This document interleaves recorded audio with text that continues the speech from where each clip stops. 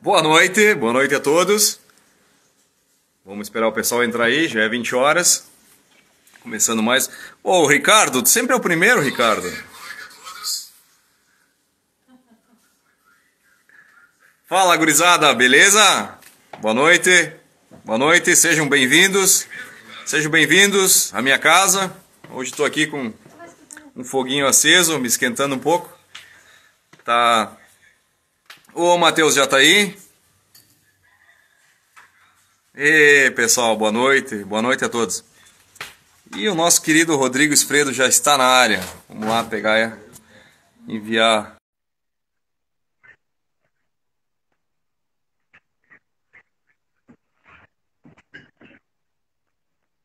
Ah!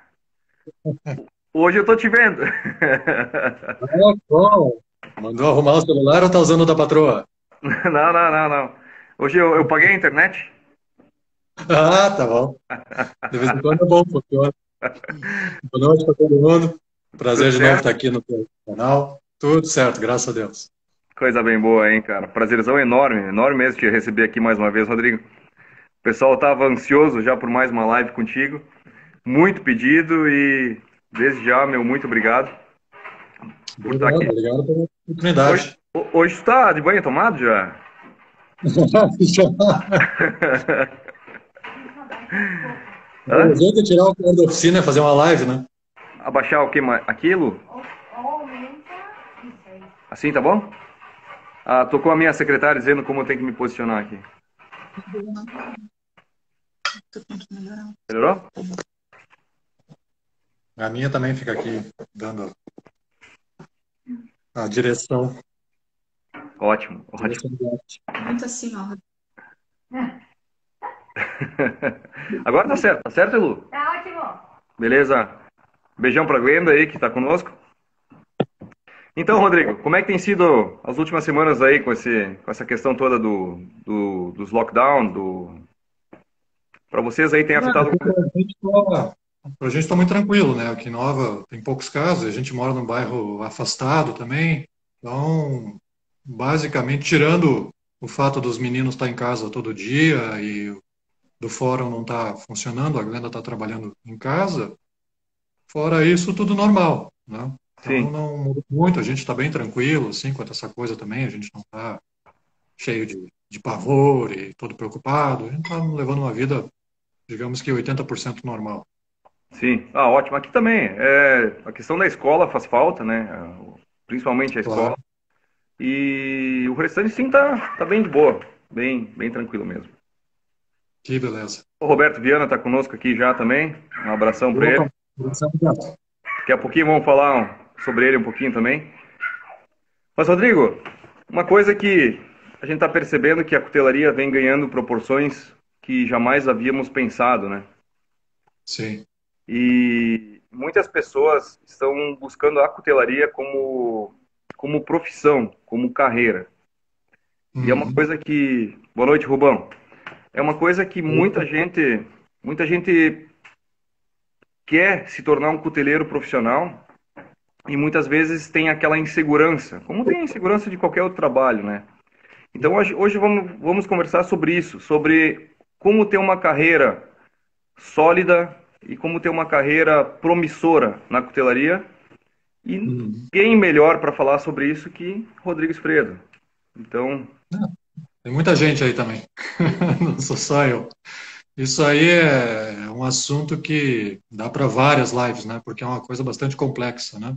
Certo. E, inclusive, essa semana mesmo, o pessoal tem me perguntado a esse respeito e tudo, porque até por essa questão toda que a gente está vivendo atualmente, né? Essa insegurança e tudo, então fica mais complicado do pessoal optar por dar esse passo, porque a maioria começa como part-time, né? começa tendo uma outra ocupação, um outro trabalho e trabalhando nas horas vagas.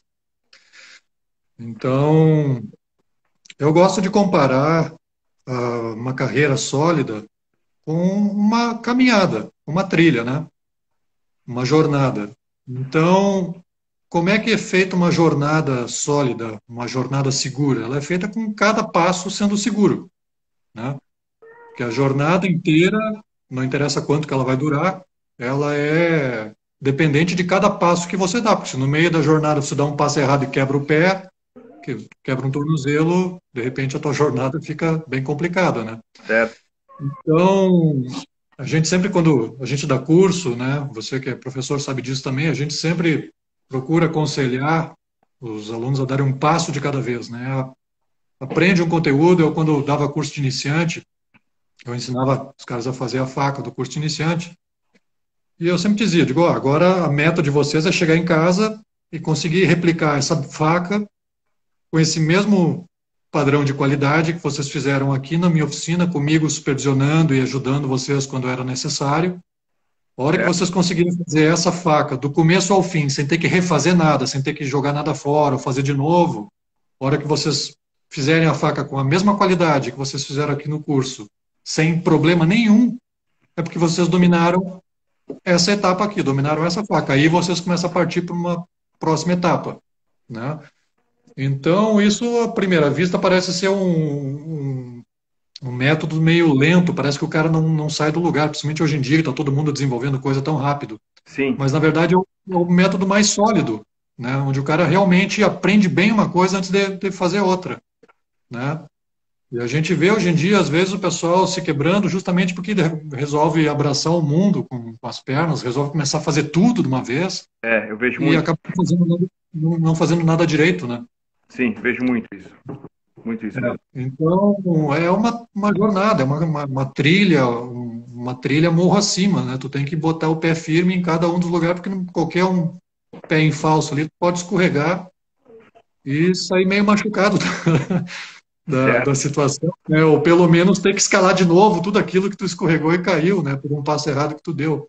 Sim. Então, sim. isso vai desde de, de material que o cara coloca fora e tem que usar de novo, tem que o bujão de gás, o material de cabo, o aço, tudo que o cara tem que começar de novo, até mesmo reconquistar um cliente que de repente o cara não soube lidar direito com o cliente ou Sim. uma uma noção no mercado de trabalho, o cara de repente toma algumas atitudes que não são muito legais e aí fica com uma má fama entre, entre os colegas, por exemplo, aí o cara demora um certo tempo para refazer isso.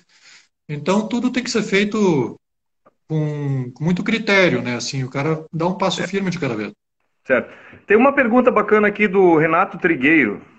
Uh, mestre, existe alguma forma de lidar com a negatividade de pessoas que entendem de cutelaria? Olha, o fato da pessoa entender a cutelaria não significa nada. Né? Eu acho que lidar com negatividade das pessoas é lidar com negatividade em geral.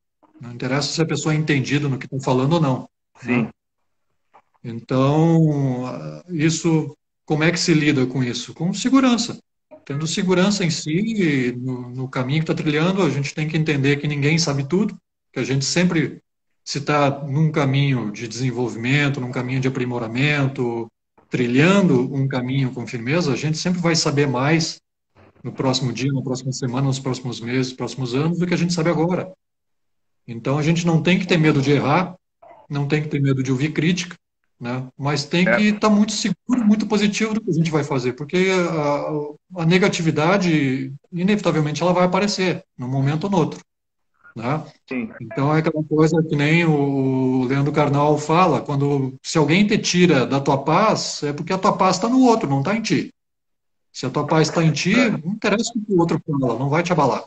Né? Sim. Então Sim. essa questão de segurança no que está fazendo e confiança em si mesmo. Sim, verdade, verdade.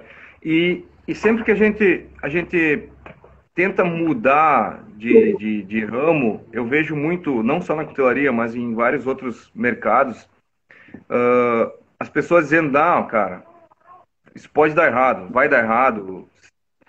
Como é que. Como é que. Como é que.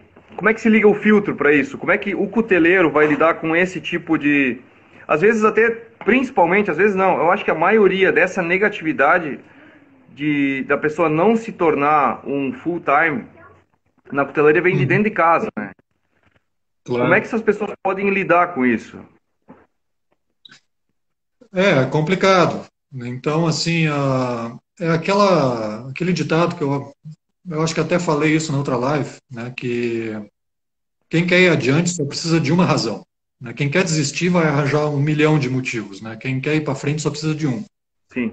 Então, o que acontece? Sempre vai ter um, um chuveiro de negatividade em cima, sempre vai ter uh, um monte de gente frustrada com a sua vida e aí jogando frustração em cima dos outros, porque não, não tolera que alguém esteja feliz fazendo o que faz ou que vá se dar bem.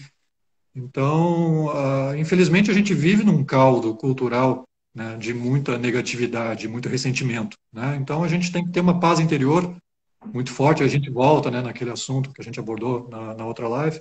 Sim. Cara tem que ter muito muita bom. segurança, muita paz interior para saber lidar com isso. Né? Então, o problema do, do, iniciante ou do cara que está tentando dar esse passo, principalmente se o cara tem família, né, tem, tem dependentes, não, não é fácil. Eu, quando dei esse passo, eu era só eu no mundo, eu não tinha dependente, não tinha uma Sim. família para prover. Né, então, foi muito mais fácil. Sim. Então, claro que a insegurança bate. Né, então, como é que o cara pode fazer? Se orientar, né, assistindo lives como essa, por exemplo, né, ou seja, conversando com pessoas que deram esse passo, pessoas que estão estabelecidas, né, que estão dispostas a ajudar, né, e mapear o que pode, o que não pode acontecer. Claro. Então, essa semana mesmo eu estava aconselhando né, um, um cuteleiro part-time que está querendo dar esse passo, e aí eu falei para ele justamente isso, de bom, tem que botar tudo na balança, né? Porque assim, ele estava com. O caso que me relatou que ele estava com muitas encomendas, ele não conseguia pegar mais encomendas, ele estava tendo que, que, recusar encomendas porque ele trabalhava part-time e ele estava preocupado com isso. E ao mesmo tempo ele não tinha tempo para fazer coisas diferentes, porque ele só recebia encomenda de facas de churrasco. Aí eu falei para ele, eu digo, bom, tu tem que ver o outro lado também. O fato de tu ser part-time, de tu ter um outro negócio, mesmo que a cutelaria hoje ela já influencie no teu orçamento doméstico, o fato de tu não depender 100% da cutelaria também te possibilita perder mais tempo fazendo outras coisas.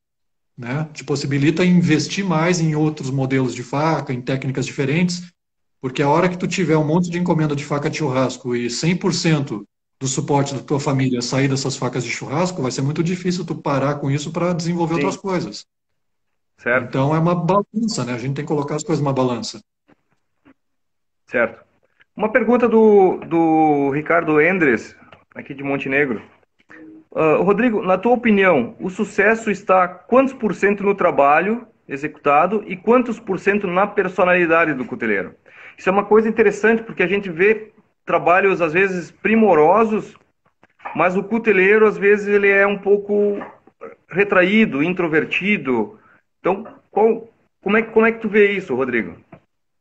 Olha, fica difícil de colocar isso em porcentagens, né? Porque tem pessoas que, que simplesmente querem a faca, né? E não interessa o cuteleiro. O cara tá, só está interessado no trabalho, na, na arte que está em cima da faca, ou, ou, na ferramenta e no preço que ele pagou por aquilo ali. E tem pessoas que gostam de cuteleiro, que nem gostam tanto de faca, gostam mais de cuteleiro do que de faca, né? Sim. A gente conhece bastante também esse tipo.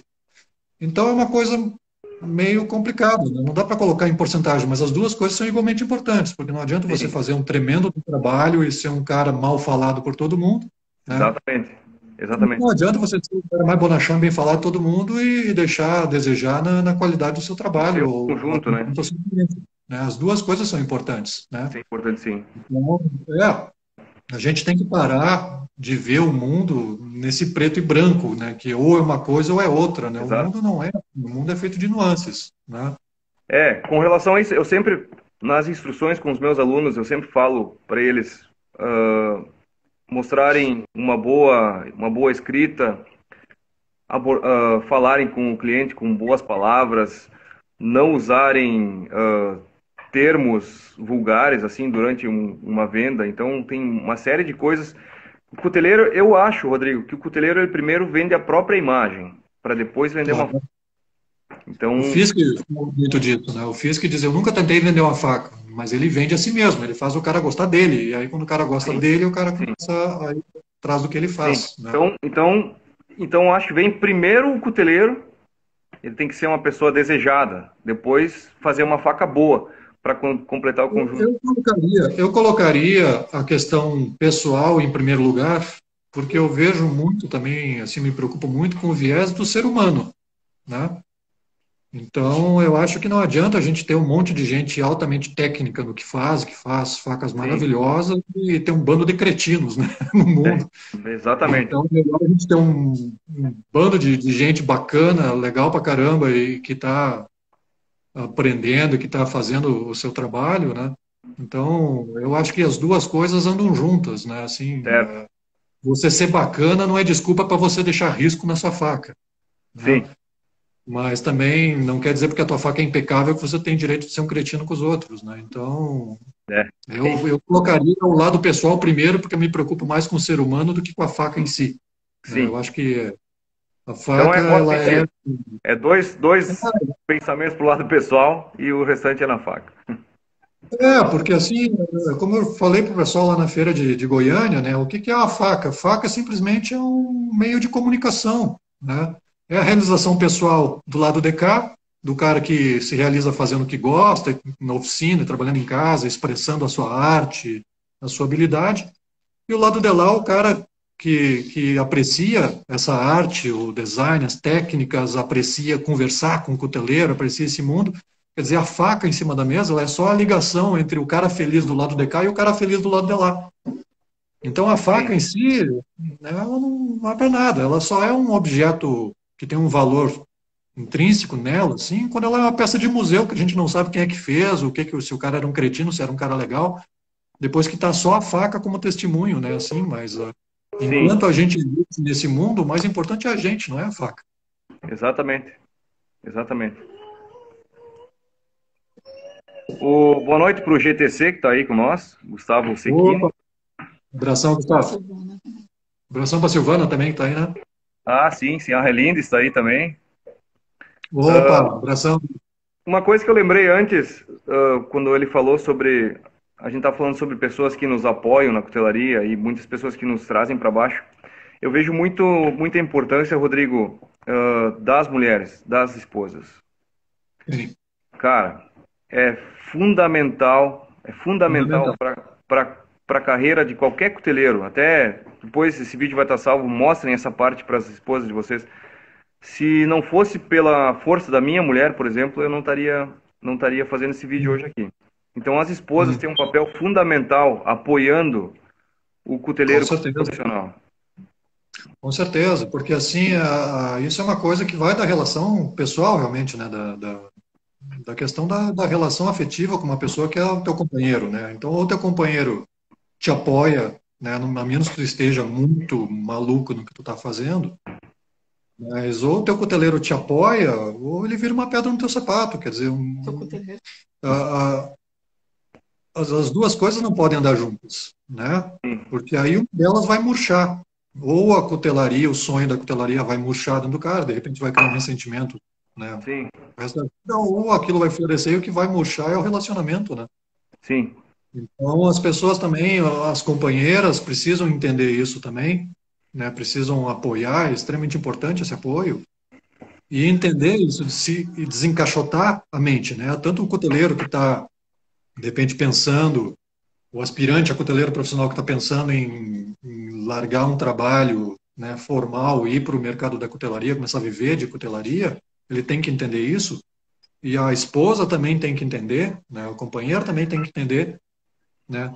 Que existem outras formas de, de, de ganhar vida, que não é só o trabalho com um salário Sim. fixo. Carteira assinada.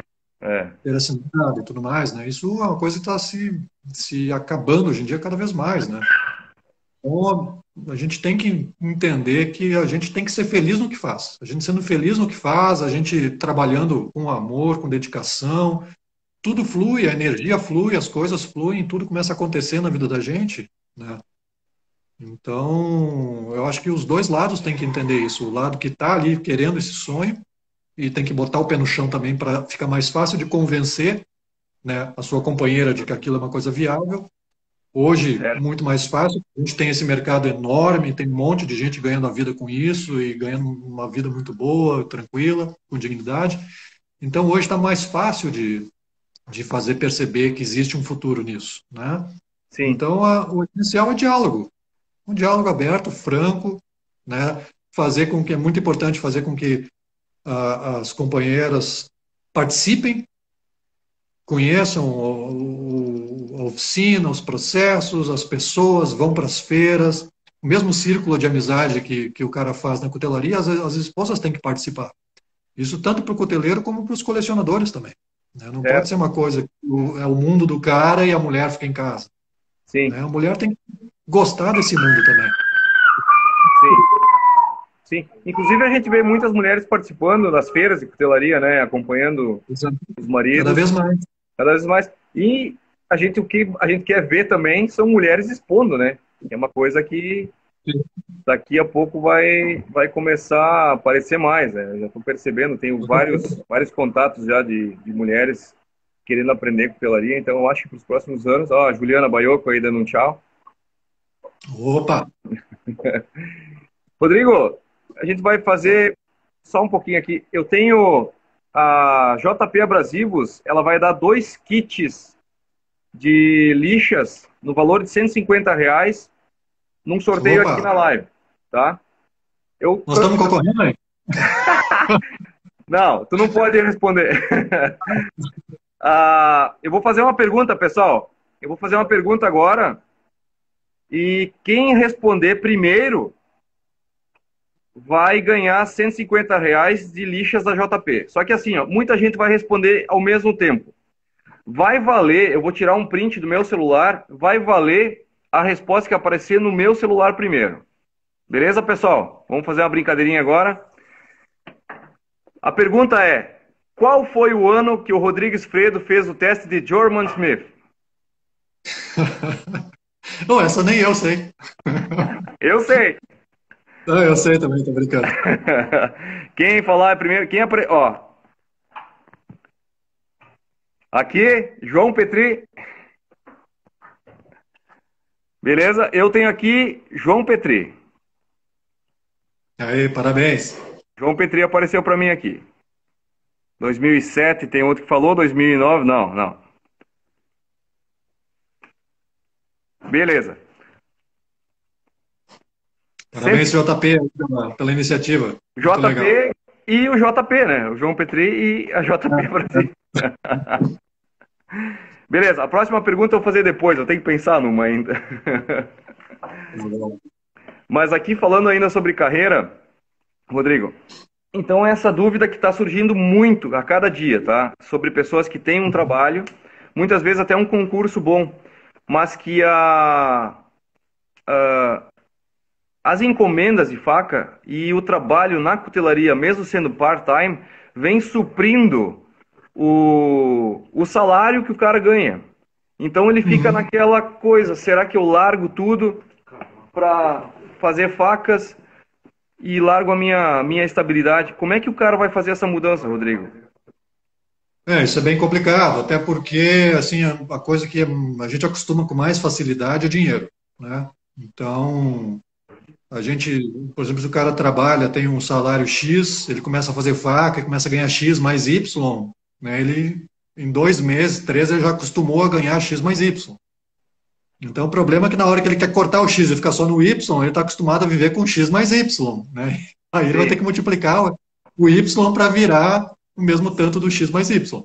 Certo. Então, é complicado. Tem que entender né, que, que vai ter uma queda de, de rendimento inicial, tem que, de repente, fazer um, um pezinho de meia, aí talvez uma o cara reserva, consiga né? uma, uma coisa assim. Então, por exemplo, o que eu estava falando essa semana para esse cuteleiro que me questionou a esse respeito, tem que fazer o cálculo de quanto tu ganha por hora. Né? Então, por exemplo, no teu trabalho, tu calcula quantas horas tu, tu trabalha, qual é o salário né, líquido e quanto que tu ganha por hora de trabalho. Aí tu faz a mesma Sim. coisa na cutelaria. Faz as facas, vê quanto tempo tu leva, abate quanto que tu gastou em insumos, né, material, tudo mais, e vê quanto que tu ganhou por hora de trabalho na tua faca.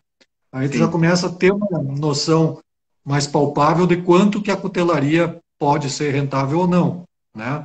Porque às vezes o cara esquece de botar na ponta do lápis aquilo que ele, que ele investiu para fazer aquela faca, né? Então, E outra questão também é o seguinte: o cara não pode querer virar um cuteleiro profissional se o cara ainda pena um pouco para fazer as coisas, ainda dá muita coisa errada, se o cara não tem todo o maquinário suficiente na oficina para produzir bem. Certo. Né? Primeiro tem que ser completamente autônomo. Tu não pode querer virar profissional se tu ainda depende de usar a oficina de alguém para fazer alguma parte do processo, alguma coisa do tipo. Essa é uma parte muito importante, pessoal. Muito importante é, mesmo. Tem uma oficina todo... bem montada e que já toque o negócio. Já toca o negócio, porque é uma empresa. Né? Sim. E outra coisa, assim, ó, tem um lado também que às vezes o, pessoal não põe uh, na matemática, que é o investimento. Então, por exemplo, material de empunhadura. Aí o cara fez uma faca, botou um material de empunhadura que ele comprou, digamos uma madeira ele comprou lá, pagou 150 reais. Então ele abate aqueles 150 reais na faca, mas ele tem que repor aquele material. Certo. Né? Então o que acontece? Ele tem que criar um estoque também, porque ele não pode viver só comprando um cabo de cada vez. Então claro. ele gastou um cabo de 150, ele tem que comprar no mínimo dois cabos. Né? Ele tem que comprar o da próxima faca e mais um para deixar guardado. É o mínimo necessário para ele ir acumulando um pouco de material. Né? O ideal seria comprar, para cada um que tu gasta, comprar dois ou três. Né? Então, assim, tem essa coisa de fazendo estoque, fazer estoque de, de material de empunhadura, que é o mais caro, fazer estoque de aço. O cara não pode querer viver profissionalmente de cutelaria uh, comprando material para uma faca de cada vez, ou para duas, três facas, né?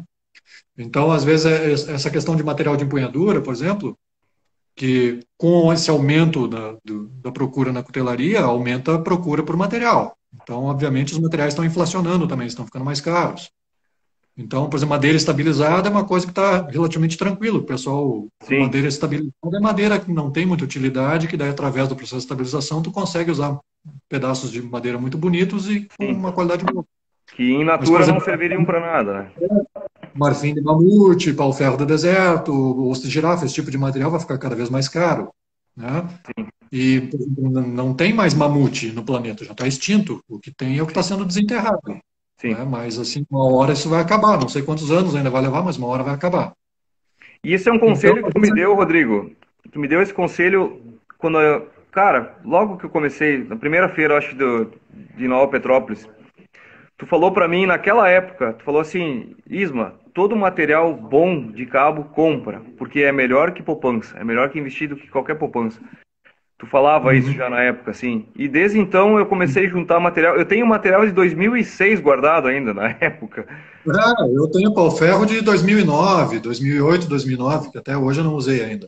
Sim, ah, então realmente é um investimento que o cuteleiro precisa fazer. Precisa fazer. Então, assim, às vezes tu fala com o cuteleiro, ah, como é que tu tá de material? Ah, eu tenho material bastante. Tem para quanto?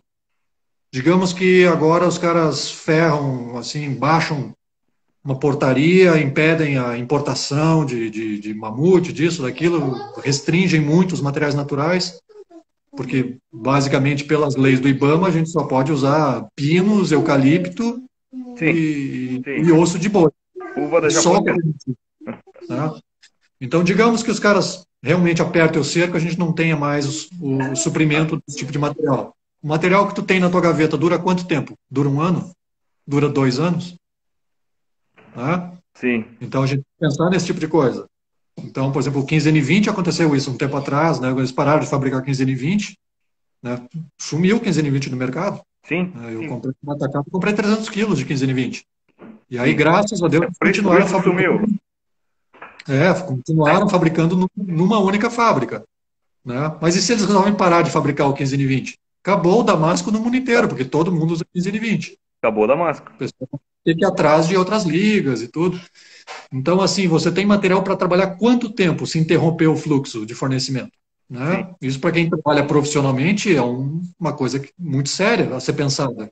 Né? É, uma conta, é uma conta que eu tenho hoje, que eu, que eu quero, eu, eu quero que todos os meus alunos tenham sempre né, material de cabo dentro das suas gavetas, dentro do seu armário, pelo menos para cinco anos de trabalho. É isso aí. Até então, o cara tem que fazer alternativas.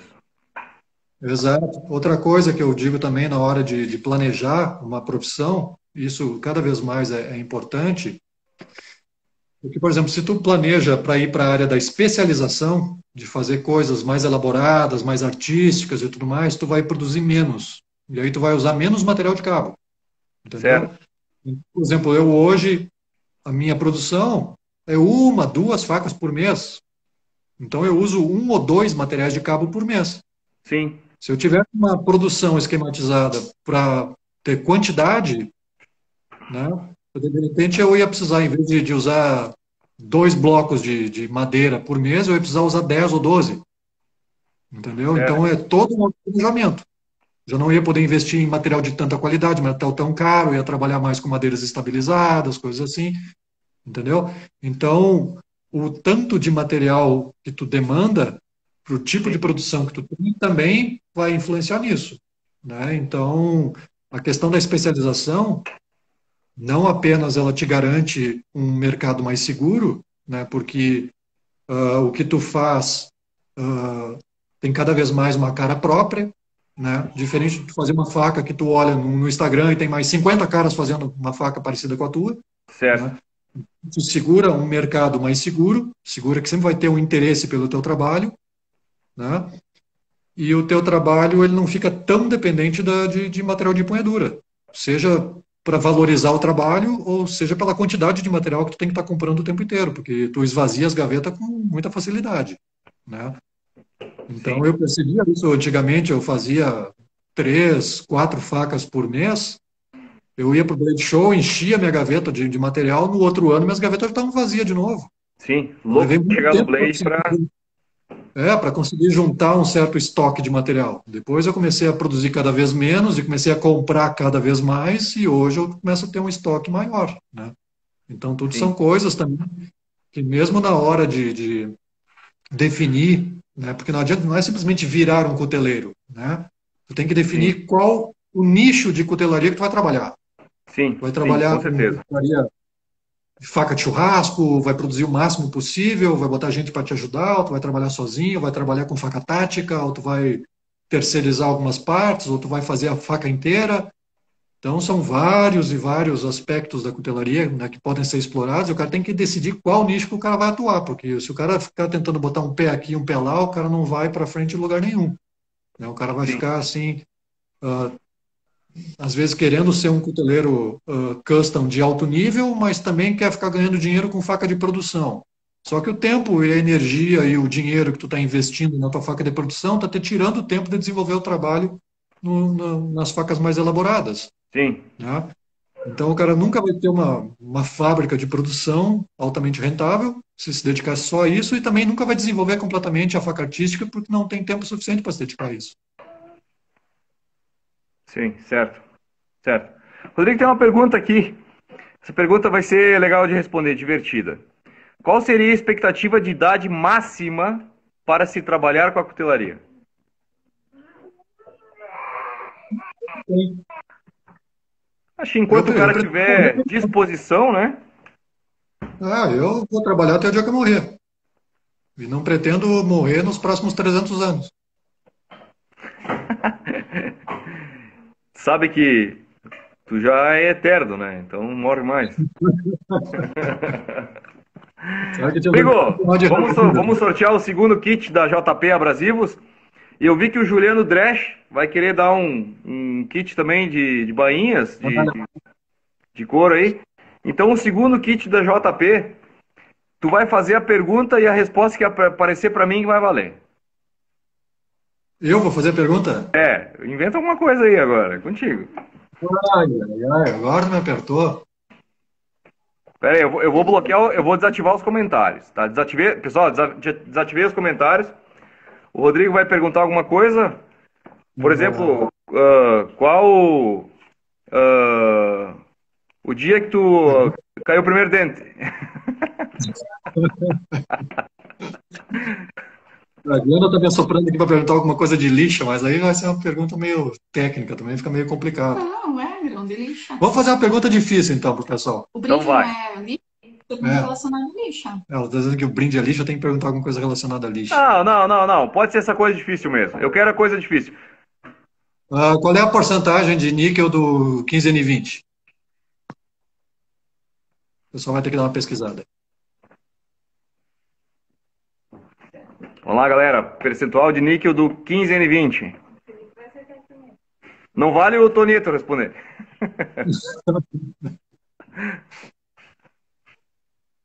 É, uma média, né? Porque varia um pouco de fabricante para fabricante, né? Não, ninguém, ninguém, acertou até agora.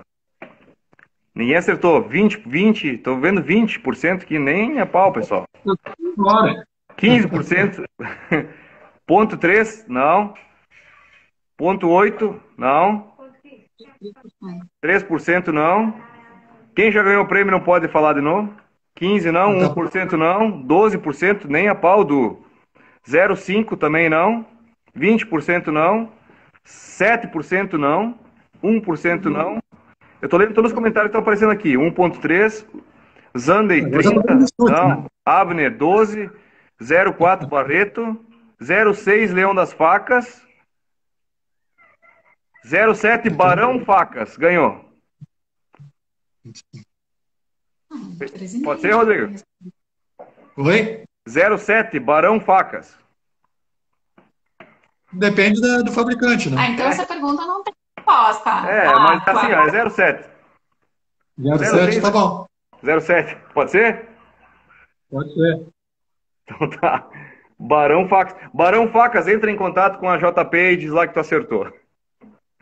Pessoal, 2%, 1,7%, não. É, o 15N20 ele tem é uma liga de aço carbono e ele tem na composição entre 0,6 e 0,7% de carbono e uma média de 2% de níquel, o que torna ele um aço 1070, entre aspas, com um níquel a mais, que é o que dá o contraste na parte branca do damasco. Alguma coisa a adicionar, Rodrigo? É 2%? Não, não. Ah, não, peraí, peraí, peraí, peraí. Peraí. Eu fiz, eu fiz, eu fiz confusão aqui, Rodrigo. Eu tava, eu tava no, eu tava falando de níquel, né? Isso, isso. O Rodrigo perguntou do níquel e eu falei, eu tava, eu tava com o carbono na cabeça. Eu vou ter que voltar aos comentários aqui, pessoal. Quanto que é a resposta? É 2%. Ah, teve gente que respondeu. Teve, teve. Gente que respondeu. respondeu, a Abner Cutelaria respondeu, o Ruben respondeu 2%. Tá, vê quem foi o primeiro aí. Vai, eu que caguei aqui. Com perdão da palavra. ah, eu caí de Mar novo. Marco Fabrini respondeu 2% aqui, o primeiro que eu tenho aqui. Agora eu não vou ter. Tá bom. Marco aí, Fabrini. Parabéns. O meu primeiro aqui, ó, vou tirar um print aqui depois se o pessoal quiser ver. O primeiro a resposta foi do Lucas Santos, 4%. Barão Facas respondeu 2%. E Marco Fabrini, 2%. Tá, pessoal? Desculpem a. E agora o kitzinho do Dresh Couros. Kit Bainha, um kitzão, né? Vem couro, vem linha, vem agulha, vem um monte de coisa aí. Acho que a, agora a Glenda faz a pergunta aí. A Glenda faz a pergunta aí? É de couro? Não, faz uma pergunta relacionada à cor, então. Não, disse agora tu faz a pergunta, tá, bichona? Ela fica aqui só fazendo sinal para mim, me dando direção aqui, eu fico puto da vida. Glenda, qual é a pergunta agora? Não sei, Isma. Tá. Acho que tem que ser coisa com, com couro. É, acho... patrocínio do Dresh Couros, pessoal. Vamos lá. Então, deixa eu pensar. Alguma... Hã? Qual, é a medida de uma linha de couro, de cada linha da espessura do couro? Qual a medida? Qual a medida da linha da espessura do couro? Um couro de 20 linhas, de 30 linhas, qual é essa medida? Quanto que representa cada linha na espessura do couro? Então tá, pessoal. Quanto um milímetro na ROC 05, Rafa. O que, que tu me diz aí, Rodrigo? Não, é 01. Calma, não é para dar a resposta. Tá, ninguém acertou, então. Já teve a resposta. Teve 1, 05, é 01. Ai. 02, tá. É 01. o couro de 30 linhas é um couro de 3 milímetros. Tá, ninguém então, acertou. Não é 1 milímetro? Não, é 01. 0,1 milímetro? 0,1 milímetro. Tá, então tu deu, tu deu a resposta antes do, dos comentários aqui, Rodrigo. Faz uma outra pergunta menos escabrosa. Ah, então vamos perguntar uma coisa que não seja de couro.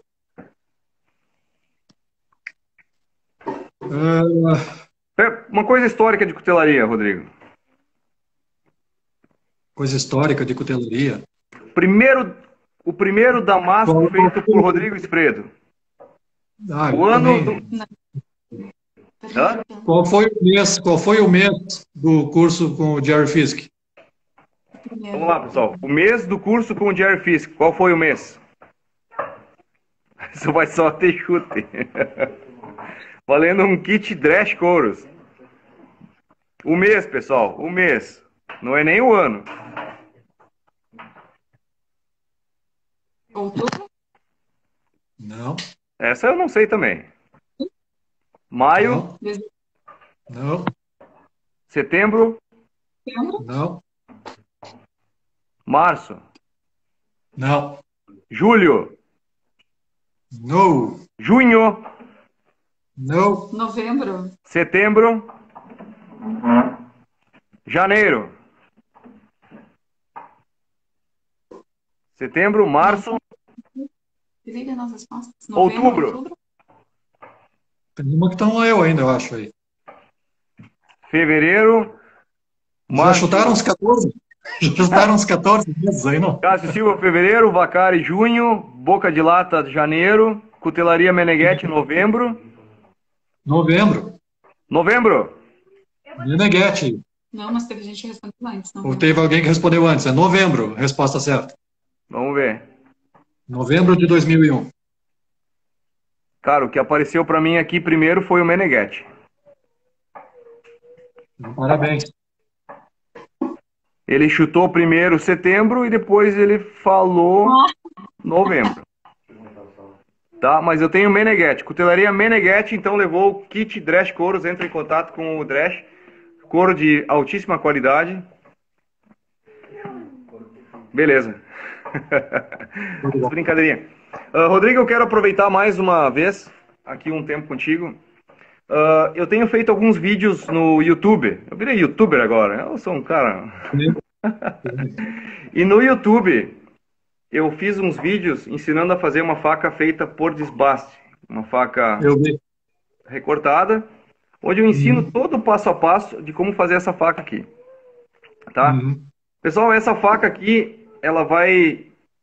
Eu fiz ela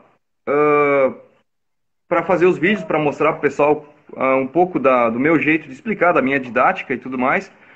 E essa faca, ela tem uma bainha que foi feita por um aluno meu, João Petri, que por sinal ganhou antes um kit JP. Ele, essa faca, pessoal, ela vai ficar eternizada na história em função do YouTube, tá? Esse vídeo eu quero que ele se perpetue por muitos anos. E essa faca, pessoal, ela vai estar amanhã, tem a marca de dedo aqui, em leilão para uma ajuda a um irmão nosso da cutelaria, tá? A gente tá com o nosso querido Roberto Viana, passando por maus momentos. Ele tá com um problema de saúde gravíssimo e ele tá sem poder trabalhar já há vários meses, tá? A renda dele depende de cozinhar e de e, e das feiras de cutelaria também que ele participa, alguma coisa. E pessoal, amanhã essa faca aqui vai estar no Instagram. É uma faca simples, mas eu quero que vocês ah, deem seus lances pensando num amigo. Então amanhã um leilãozinho simples aqui no Instagram dessa faca do, do YouTube. Tá, pessoal? Ficou o convite já? E vamos seguir então. Rodrigo, obrigado e desculpa a interrupção da com Não, Eu acho que foi o Facundo que respondeu. a Glenda está dizendo que acho que foi o Facundo que respondeu primeiro a, É que- a última pergunta. É que tem os retardos de, de mensagens. Eu sou o primeiro que recebe ela, por estar. Deixa eu ver. Hum, Eu posso conferir aqui, não. Como? eu disse que todos na lista, mas depois tu confere aí. Tá, deixa eu só ver uma coisinha rápida aqui de novo. Abril, abril, dezembro, fevereiro, novembro. Ih, novembro. Tá, eu tô no Meneghetti. Eu vou pra cima agora, só um pouquinho então. Setembro, janeiro, setembro. Barreto 10 setembro, 10, 10, 10, 98. Setembro, maio, maio, maio, maio. Cor exótico, 2 milímetros. Não, daí já começou no 01. Já começou nos milímetros. O Facundo, eu recebi a mensagem do Facundo. Ah, é que tem, é que tem os delays de mensagens, tá? O pessoal envia Sim. e às vezes, o, quem tá vendo o vídeo recebe, de, recebe depois. Mas primeiro uhum. eu recebo e depois tu recebe, Rodrigo. Tanto é que as perguntas chegam primeiro para mim, tá? Beleza. Vamos lá. A Silvana disse que quer conversar. Silvana, vamos ter que ter feira esse ano, né? Pelo amor de Deus, não aguento mais sem feira. Tem que, tem que ter uma, uma feirinha esse ano ainda. Mas voltando a falar sobre carreira, pessoal, que era o assunto principal da nossa live hoje, o Rodrigo, que ele está na carreira de cuteleiro profissional, ele tem como cutelaria, como a cutelaria na vida dele como a profissão desde que ele tinha 16 anos, eu acho, né? Nunca trabalhou com outra coisa, Rodrigo? É, não, começou como um hobby, né? 13 para 14 anos, mas que eu vivo de cutelaria profissionalmente, que eu me sustento, vivo full time de cutelaria desde 96. 96. Uhum. Tu não, não trabalhou para ninguém, tu nunca foi funcionário de, de alguém ou alguma coisa assim? A única vez na minha vida, eu, eu costumo dizer que eu nunca ganhei dinheiro com outra coisa que não seja fazer faca, na verdade isso não é verdade. Teve uma única vez na minha vida que eu ganhei dinheiro com uma coisa que não era fazer faca, que foi uma vez, num período bem de vacas magras lá, que um amigo meu vendeu uma kitnet em Porto Alegre e ele me contratou para pintar a kitnet lá. Eu pintei a kitnet no final de semana e ele me pagou uma micha. Mas olha, essa nem eu sabia. Foi a grande sabia. Foi o único dinheiro da vida que eu ganhei com alguma coisa que não fosse fazer faca. que bacana, Rodrigo. Bacana mesmo. E aposentadoria? Dia que morrer. 300 anos. Dia que morrer. Dia que morrer. Que maravilha, parceiro. E me diz uma coisa, teus filhos estão pegando gosto? Eles gostam da oficina? Eles... Olha, o Bruno, que é o mais novo, ele demonstra mais interesse, assim, ele fala mais, mas ele é pequeno também, né? Então, assim, o Francisco, quando é mais novo, também demonstrava mais interesse. Aí depois ele começa a crescer, começa a ficar mais interessado em ser piloto de corrida e aquelas coisas de criança, né? Sim. Mas, por enquanto, assim, nenhum deles fica lá enfiado na oficina e querendo mexer nas máquinas e fazer coisas, sim, eles não demonstram. É que são outras épocas também. Hoje existe muito, muito mais opção de entretenimento, então é complicado. É, eu também sempre fui muito cuidadoso com isso, assim, ah, de não. A gente deixa claro para eles, assim, que seria legal ter uma oficina em casa e ter um professor, né, ter todo esse suporte, mas eu Sim. de forma alguma também eu quero assim que eles fiquem com a impressão de que o, a expectativa do pai ou da mãe que eles sejam cuteleiro, porque aí depois, amanhã depois resolve fazer outra coisa e passa o resto da vida achando que frustrou o, o pai. O próprio Jerry Fisk falou isso uma vez. Ele tem, os filhos dele também não seguiram, nenhum seguiu carreira de cuteleiro, né? Uhum. E ele sempre deixou muito aberto isso. Eu tô com uma visita ilustre aqui hoje. Dani, vem cá. Eu tô com, eu, eu tô, eu tô com um churrasqueiro aqui, ó. Aê! Beleza? Beleza? Tranquilinho. Meio frio aí, pelo jeito, pelo, pelo gorro. Ah, aí tá pior, né? Mas eu. Tu sabe que ele é mais meu vizinho que teu agora, né? Sim. Não, mas eu acho que aí embaixo cai mais a friaca do que aqui em cima. Pois é. Que o frio desce, ah, né? O frio desce e o calor sobe. Sim, mas hoje tá bem frio aqui. Tá, tá bem friozinho. Ai, tá horrível, não consigo fazer nada. Bom te ver, Dani. Capricha não, não, na, é na todo cara. Mundo, não, é, não é todo mundo que tem um assador assim, numa, numa quarta-feira, né? Abração pra todo mundo aí. Abração. que beleza. Rodrigo, estamos entrando nos 10 minutos finais. Hoje vamos fazer só um tempo, até para não, não ter um desgaste grande de. De, tá? de imagem, para não queimar o filme. ah, maravilha. Rodrigo, siga com tuas palavras, cara, que sempre é bom te ouvir. Uh, principalmente nessa, nessa parte onde tu orienta as pessoas com relação à carreira, sabe? Tu sempre foi muito, teve sempre bons uhum. conselhos, inclusive eu devo muito a ti, eu sempre, sempre sou, digo isso para todo mundo, não escondo. E, e, e, por isso que eu insisto muito em falar nessas, que, que, que você fale nisso, porque eu tenho em mim, sabe, os conselhos que tu me deste há muitos anos atrás, muitos não, né? Não tantos, mas, mas no começo, lá em 2005, 2006, e que fizeram toda a diferença para mim. Então, para mim, isso é importante quando tu fala para as pessoas hoje sobre carreira, sabe? É, uma coisa.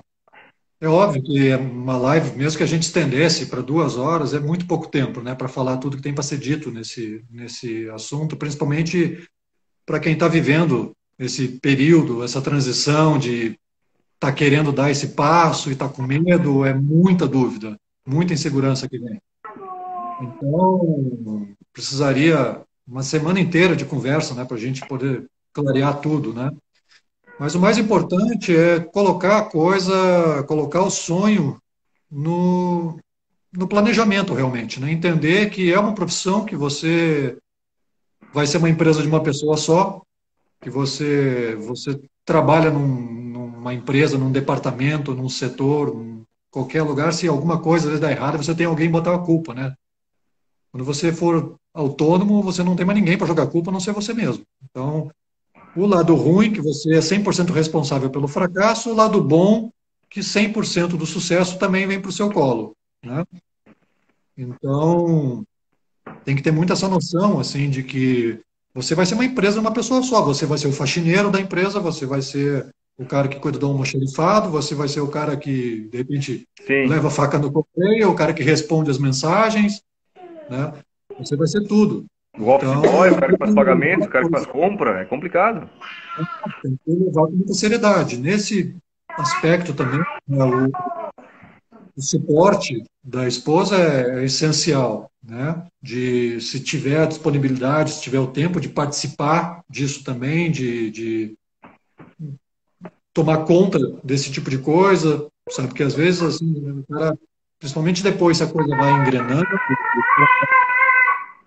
trabalho uh, mais, mais valorizado, a hora de trabalho começa a ficar com um valor mais elevado, e aí começa a ficar muito caro você sair da oficina para ir no correio levar uma faca. É. Então chega um momento que se você não tem uma esposa que possa fazer isso por você, vai ser mais fácil você contratar um secretário, ter alguém que possa fazer esse tipo de diligência para você, porque começa a ser muito caro você sair da oficina para fazer esse tipo de tarefas. Sim. Né? Então, tem que se enxergar de uma forma muito profissional, enxergar a sua hora de trabalho como uma coisa profissional, né? Porque às vezes o fato também da gente trabalhar em casa faz com que as pessoas pensem que você está sempre disponível para as coisas, né? Então, sim, sim. Uh, amigos estão sem ter o que fazer vão na tua oficina bater papo, porque não encaram que você está realmente trabalhando. Eles não vão, né? se você trabalha, digamos, no, num departamento qualquer, trabalha no fórum, digamos, as pessoas não vão lá no fórum ter tirado o teu trabalho para tomar chimarrão e bater papo contigo. Mas tu trabalha Sim. na oficina em casa, as pessoas fazem isso. Então Sim. é muito comum, às vezes, o coteleiro ter que fechar a porta da oficina para poder trabalhar. Né? Sim. Então tem que saber colocar esse limite também, né? tem que saber uh, se relacionar bem com as pessoas e tudo, mas saber fazer, fazer com que as pessoas saibam respeitar aquilo como uma profissão Sim. Né? Então saibam, por exemplo, que ah, a pessoa, ah, eu quero muito conhecer a tua oficina, né, conversar com você. Você vai abrir as portas, vai receber todo mundo, mas a pessoa tem que ter a noção de que você vai destinar 20 minutos, meia hora, uma hora que seja, e depois ela tem que agradecer e ir embora porque você tem trabalho para fazer. Você não pode passar Sim. a tarde inteira batendo papo, né? Então, são coisas que às vezes são difíceis de colocar, né, assim, para as pessoas, mas a, a, pessoa tendo, o cuteleiro tendo para ele esse entendimento, já torna a coisa muito mais fácil. Sim, sim. E, e o que vale realmente é hora trabalhada de oficina, né? Não é Exato. é eu ter 10 anos de cutelaria, mas hora de oficina eu tenho 20. Não adianta. Exatamente. E outra coisa, tá na oficina, tá trabalhando. Então, saber gerenciar o trabalho, não adianta colocar um cabo para colar às duas horas da tarde e ficar o resto do dia sem fazer nada, esperando a cola do cabo secar para poder dar os últimos acabamentos na faca. Não. Então é melhor começar a fazer a bainha da faca, deixar para colar o cabo antes de sair da oficina, deixar Sim. o cabo colando durante a noite, ou vai fazer o tratamento térmico também. Então, ah, vai temperar a faca, se está no meio do dia, espera, faz outras coisas, outras etapas da faca, vai já Sim. o cabo, ajustando, começa a encaminhar a bainha, vai fazendo outras Otimiza peças. o trabalho. Otimiza, e deixa para fazer a têmpera no final do dia, e depois põe para revenir no forno, e aí vai tomar banho, vai fazer outras coisas e deixa o forno trabalhando para você. Então, saber otimizar, saber trabalhar às vezes em mais de uma coisa ao mesmo tempo, Isso é pra- importante. enquanto está esperando, ah, por exemplo, para quem faz damasco, vai colocar a faca para fazer a revelação do damasco, antes de revelar, põe todo o material de bainha em cima da mesa, limpa tudo direitinho, já tira o Sim. modelo, Tira desenha, põe a faca lá para fazer a revelação, enquanto a faca está revelando, tu está fazendo bainha. Né? Sim, E assim vai saber pensar, organizar É o processo do tempo, mais né? inteligente. com certeza. Com certeza. Isso, isso é importantíssimo isso. E isso é uma coisa que, que tem muito cuteleiro que não faz, cara. Sabe? Parece que chegou naquele determinado ponto dentro da, da, da cutelaria, encerrou o dia e pega e vai fazer qualquer outra coisa. É, e assim, eu- isso aí pode representar uma faca a mais, pro- pro, digamos, um cara que produza quatro facas por mês, isso pode representar a quinta faca no mês. Sim. Esse tempo salvo com esse Sim. tipo de coisa, né? Então, isso realmente melhora muito a qualidade. Um, um conselho que eu dou para os meus alunos que sempre querem se profissionalizar, o primeiro conselho é trate a tua cutelaria como se fosse uma grande empresa. Exato. Aí tu vai para Exatamente. Aí tu vai para frente. Não trata a tua cutelaria como se fosse um hobby ou como se fosse alguma coisa feita em fundo de quintal. Não. Se você quer ser profissional, primeiro passo, trata a tua cutelaria, por mais humilde que ela seja, por mais simples que as suas facas sejam, trata a tua cutelaria como se fosse uma grande empresa. Aí eu tenho certeza que tu vai decolar. Isso começa com um ambiente limpo, com um ambiente organizado, com as ferramentas bem cuidadas, com um material de estoque, onde o cara tem anotado direitinho quantos cabos ele tem de cada material, Sim. faz a, a programação da, das compra, da compra das lixas, do aço. O- Um cara que é excelente para pegar conselhos nessa área é o Berardo. O Berardo é um cara extremamente organizado, né, pelo pouco tempo que ele tem. Então, eu considero ele um mestre nessa parte de organizar, de, de, de otimizar o tempo dentro da oficina. Certo. né? Então, tem vários profissionais que são muito bons assim para ensinar esse tipo de coisa e a gente tem que aprender. Nem tudo a gente vai conseguir aplicar, né, porque nem tudo ah, que a gente se inspira em alguém a gente consegue fazer igual. Nem tudo que a pessoa faz às vezes serve para o que tu quer fazer. O tipo de trabalho que a pessoa faz não é o que tu quer fazer. Ou Sim. o tipo de, de, de vida que a pessoa leva dentro da oficina não é o tipo que tu quer para ti. Então vai o que você quer. Mas dentro do que você quer, você sempre tem uma forma, tem que pensar sempre em otimizar as coisas. Sim. Sim, isso é importantíssimo. Eu acho que eu acho que esse, esse essa finalização da live agora que a gente falou sobre isso, eu acho que é fundamental para quem realmente quer se profissionalizar e quem quer ter uma carreira sólida dentro da cutelaria. Eu acho que Exatamente. é tratar, se organizar e levar a sério. Tem que ter seriedade. Exatamente. Participar, participar dos eventos, ir para as feiras, mostrar a cara, conhecer as pessoas, fazer contato, porque isso é extremamente importante. Maravilha, Rodrigo. Maravilha, Rodrigo. A gente está agora no minuto final. Eu quero te agradecer de coração mesmo por ter participado mais uma vez do Quarta Fiada, um programinha que já pegou gosto do, do pessoal ligado à cutelaria. E espero mais para frente a gente faz outra. A gente sempre tem assuntos muito bons, muito, é muito bom sempre te ouvir. E muito obrigado. Então, fico agora com tuas considerações finais. E desde já, Obrigado. obrigado. Um abração para todo mundo que participou aí, que estava aqui com a gente, tá bom? Sempre um prazer e espero que a gente possa fazer várias outras ainda no futuro, com certeza. Tá bom? E qualquer coisa que precisar, manda um direct ali, manda as perguntas, a gente está sempre. Agora, agora tu está, agora tu tá no Instagram, né, Rodrigo? Agora tu tá. Quem mandou né? Ser uma faca menos por mês, por ano, para ti no, no teu caso. Levar, levar três, quatro dias, uma semana às vezes para responder, mas normal, sempre respondo. Beleza, Rodrigo. Já começou a contagem regressiva aqui. Pessoal que assistiu a Beleza. nossa live aqui, obrigado. De coração, um beijão para vocês. E até quarta que vem. Quarta que vem tem esse cara aqui, ó. Opa, ó, legal. Daniel Jobim, rapidinho, tem 10 segundos para mostrar a cara aí. Ó. Forte abraço, gente. Tudo de bom. Um abração. Tudo de bom. Valeu, Rodrigo. Vou botar mais uma lenha aqui que tá ficando frio.